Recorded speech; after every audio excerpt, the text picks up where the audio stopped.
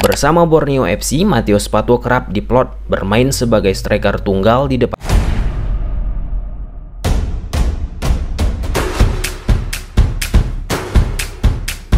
Secara mengejutkan, Matheus Pato, striker anyar Borneo FC yang musim 2022 menjadi top skor Liga 1 Indonesia, direkrut oleh klub Liga Super Cina, yaitu Shandong Taisan FC. Untuk musim 2022, Shandong Taisan FC ini berada di urutan kedua Liga Super Cina. Nah, ketika aku membuat video ini, untuk musim 2023 teman-teman, Shandong Taisan FC ini berada di posisi keempat Cina Super League di paruh musim.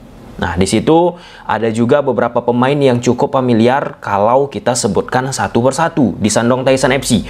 Salah satunya Marwan Fellaini. Nah, kalau kita bicara dari staf jajaran kepelatihan, ada juga ex Madura United, yaitu Coach Fabio Levendes. Nah, lewat video ini, aku nggak akan membahas perdebatan di laman sosial media muncul ada beberapa oknum yang menyebutkan Liga Cina Liga Ampas Liga Cina kualitasnya sudah menurun, Liga Cina ini, itu, ini, itu, ini, itu. Faktanya, suka tidak suka. Untuk situasi sepak bola sekarang, walaupun ada turbulensi di sepak bola Cina, teman-teman, setidaknya dari sisi ekosistem, mereka masih lebih baik kalau kita komparasi dengan sepak bola yang ada di Asia Tenggara. Nah, apalagi Sandong Taisan FC ini nantinya akan tampil di Liga Champions Asia. Sedangkan kita kan belum masih jalur uh, kualifikasi ataupun playoff Liga Champions Asia. Nah, di bulan April tahun ini aku sempat membuat video analisis khusus untuk Matius Pato.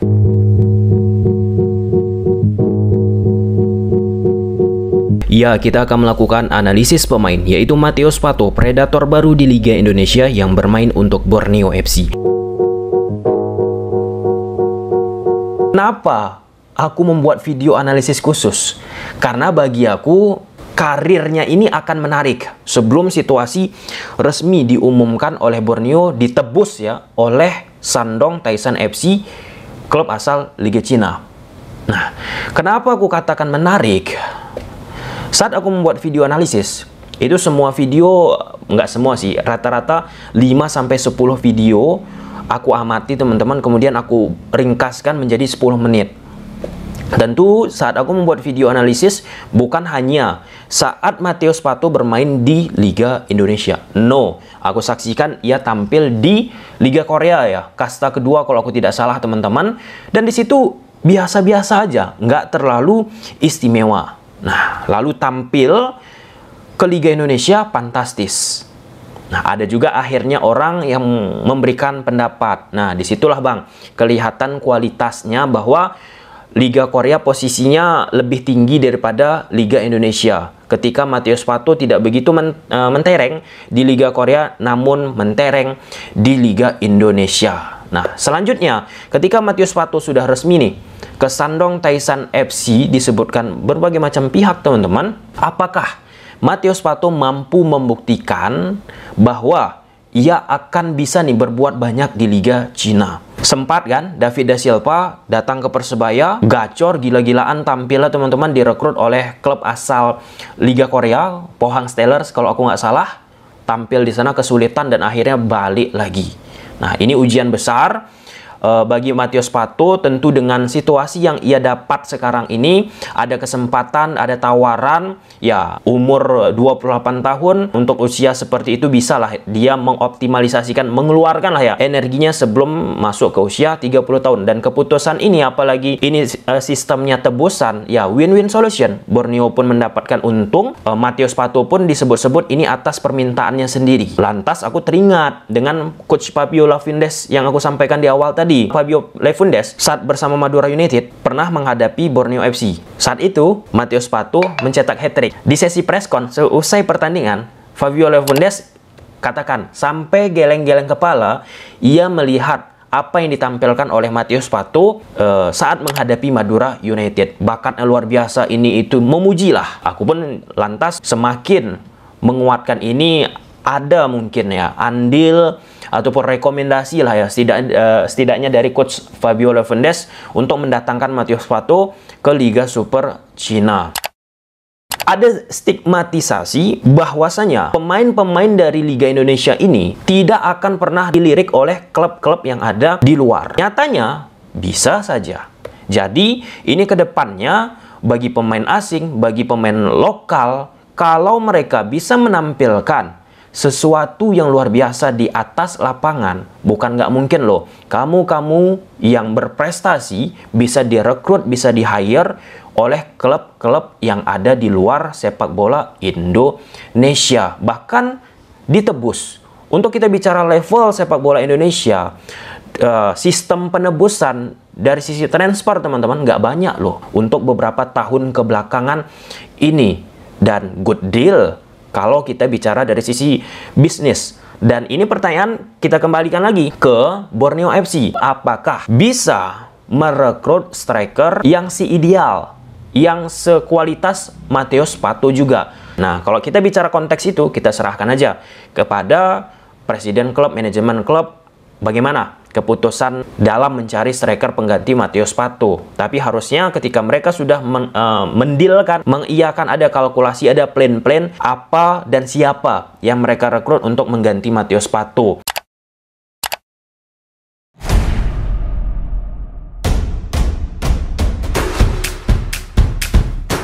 Atau bisa aja nantinya suatu saat ketika Matius Pato ini jelek sih.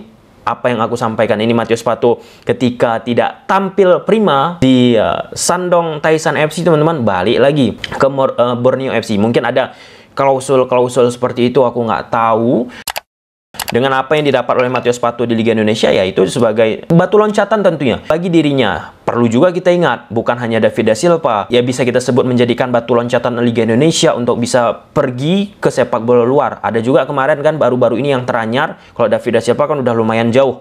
Bruno Morera, pemain Persebaya Surabaya, bagus, berkualitas dia tampil di Liga Indonesia. Kemudian direkrut oleh salah satu klub yang ada di luar negeri, teman-teman, nggak berhasil beradaptasi balik lagi ke Indonesia. Ada yang bertanya, Bang, berapa yang ditebus oleh Sandong Taisan FC ke Borneo FC? Ini nggak tahu aku. Aku sempat bertanya ke berbagai macam agen teman-teman. Dan kebetulan beberapa agen tersebut pernah aku ajak diskusi untuk kanal YouTube Tommy Deski. Ya ini tentang etika. Ja, uh, kalau kita bicara sepak bola luar kan udah biasa udah normal mengungkapkan nilai transfer. Ya ini tinggal menunggu waktu aja sih menurut aku. Semakin maju semakin kuat nanti industri sepak bola Indonesia suatu saat nanti pasti akan dibuka nilai transfer. Dan ada ada juga yang bertanya kepadaku Bang Tom kenapa abang nggak jadi Fabrizio Romano versi Indonesia atau siapalah yang ingin menjadi Fabrizio Romano versi Indonesia. Kita bukan bicara akun yang kita nggak tahu di belakangnya itu siapa orangnya itu siapa. Nah ini kembali lagi ke sisi etika. Etika belum terbiasa dan plus ketika itu dilakukan juga bukan tidak mungkin saat informasi beredar di sepak bola Indonesia teman-teman akan ke sini pemain tersebut bisa aja terjadi perubahan. Karena ternyata teman-teman di sepak bola Indonesia itu kenapa isu-isu ataupun sebuah manajemen klub jarang mengatakan ketika ditanya apakah kamu merekrut ini? Apakah kamu mendekati ini? Pasti agak-agak menghindar ataupun jawabannya normatif. Karena ternyata dari situasi itu terbuka peluang klub-klub lain akan melakukan penawaran sehingga nilai dari bargaining pemain tersebut pun akan tinggi. Nggak seperti yang awalnya diajukan oleh klub yang ingin membeli pemain tersebut. Nah, oke, okay. ya good luck untuk Matius Pato. Kita lihat karirnya apakah kembali ke Liga Indonesia, apakah moncer di sepak bola Cina. Dan kesimpulannya, bahwasanya Liga Indonesia nggak ada tuh yang istilahnya mengatakan nggak akan dilihat liga-liga luar. Ada kok nyatanya seperti ini. Sebelumnya ada juga Bruno Merera, ada juga David da Silva. Ya, David da Silva dan pemain-pemain lainnya. Good luck dan semoga bermanfaat video ini. Bye.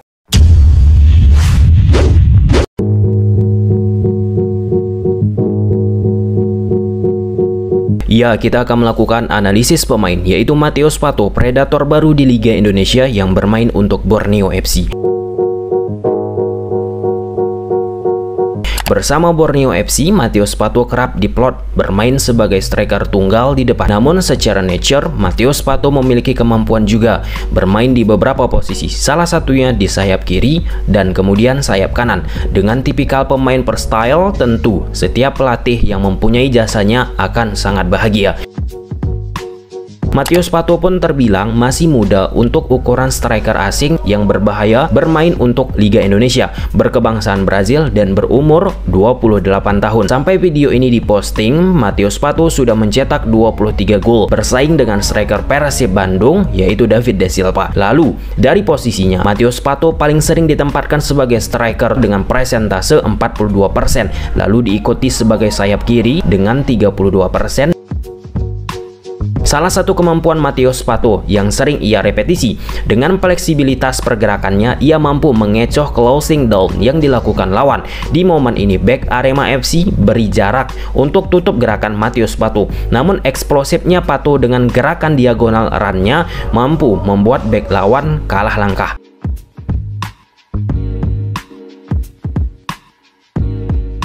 Terjadi duel satu versus satu antara Mateus Pato dengan back lawan. Dengan mudah, Mateus Pato mampu keluar dari penjagaan man-to-man -man yang dilakukan back lawan, sehingga ada potensi peluang yang bisa diciptakan Mateus Pato.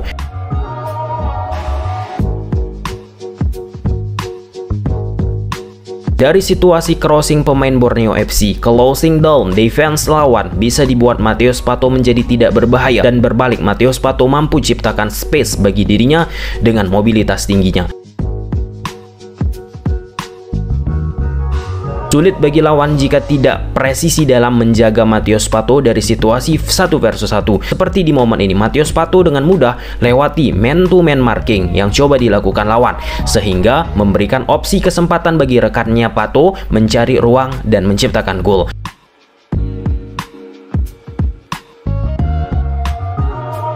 Di banyak momen lainnya, Mateus Pato menunjukkan dikdayanya dirinya dengan duel satu versus satu saat menghadapi lawan.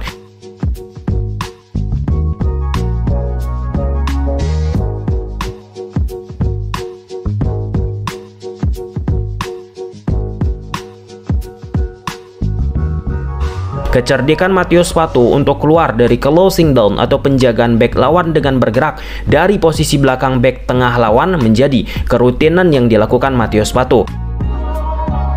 Bahkan di Liga Korea sebelum ke Indonesia pun cara seperti itu dipertahankan Matius Pato.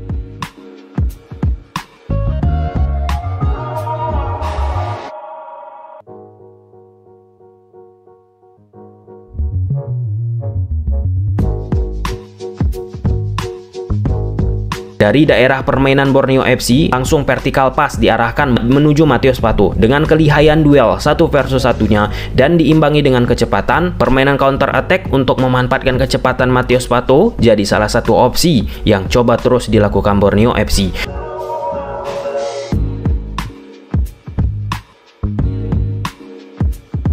Pergerakan Matius Pato yang mobile tidak hanya menunggu di daerah kotak penalti, berhasil membuat back lawan kesulitan untuk melakukan man-to-man -man marking penuh kepada Matius Pato. Contoh seperti ini, Matius Pato mampu ciptakan ruang bagi dirinya sendiri.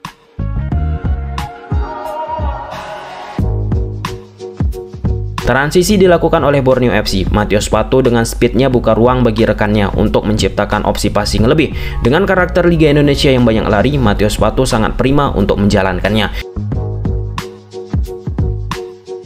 Kembali speed Matius Pato dieksploitasi oleh Borneo FC dengan permainan vertical play cepat ke depan.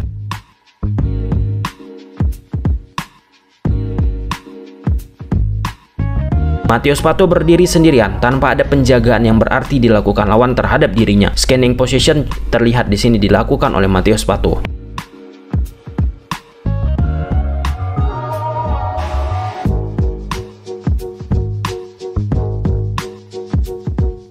Matius Pato yang di awal corner kick di man to man oleh lawan, kemudian ia berhasil lepas dari lawan sehingga menciptakan ruang bagi rekannya.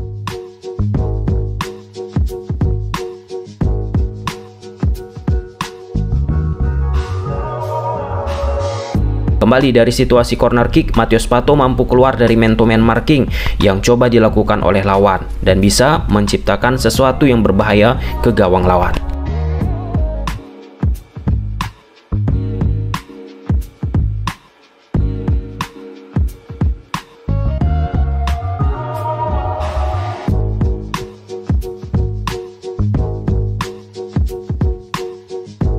거의 축구 도사급의 포스를 보여주는데 오늘은 아직까지는 좀 잠잠합니다. 어, 어, 괜찮아요. 됐습니다. 들어갔어요. 빠집니다. 대전의 선취골이 부분이 있고요. 그러면서 이제 선의의 경쟁을 통해 시너지 효과를 내죠. 이진현이 띄워줬고요. 머리 넘었습니다.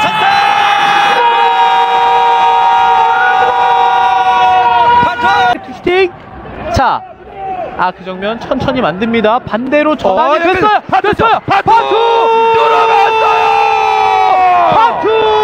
이야. 자 속도 붙이면서 어, 안토니오. 돌파. 자 박찬호 슛 들어갑니다. 선취골. 어, 안토니오. 좋아요. 안토니오 아크 정면 짧게 내줬고 리턴 다시 한번 안토니오 안토니오.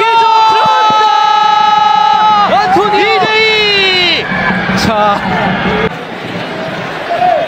오, 기쁩니다. 지금다 자, 빠졌습니다. 케어. 슛! 안토니오. 안토니오. 안토니오. 안토니오. 안토니오. 잘 넣네요. 아, 최철원 키퍼가 방향을 네. 어, 어떤 판단이었던 것 같습니다.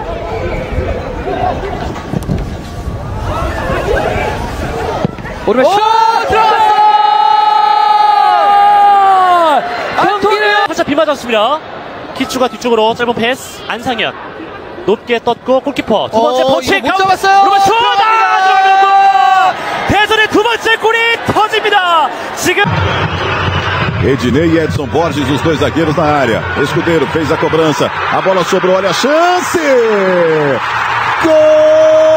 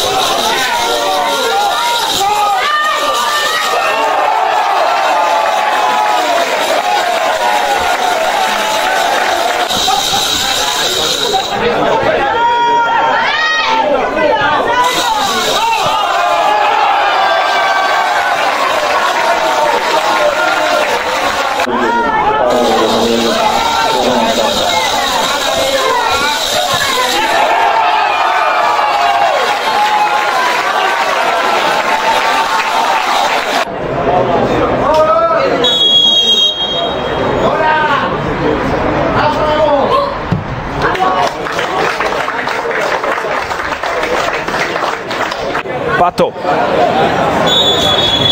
Pato alebo Lukáč. Pato sa už rozbieha. A prekabátil hostujúceho brankára Patrik Lukáč. Na